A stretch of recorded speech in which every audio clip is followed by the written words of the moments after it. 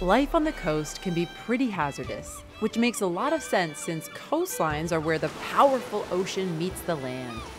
But on top of wild weather events like hurricanes and tropical storms, coastal areas are where geological hazards like earthquakes, tsunamis, and landslides constantly reshape the landscape. The vast majority of earthquakes occur along the edge of the Pacific Ocean, an area known as the Ring of Fire. Under the ocean, the Pacific tectonic plate is being forced under the surrounding plates, causing tremors, a process known as subduction. This collision causes volcanoes to erupt, making the Ring of Fire the most seismically and volcanically active zone in the world. And earthquakes are the main cause of another coastal geohazard tsunamis.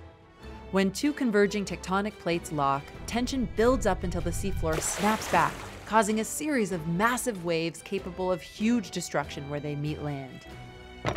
And sometimes one geohazard can lead to another and another.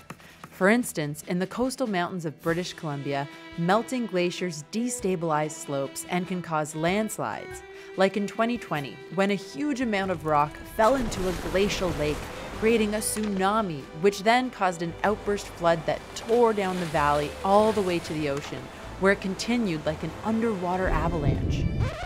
Okay, that's a lot of scary stuff.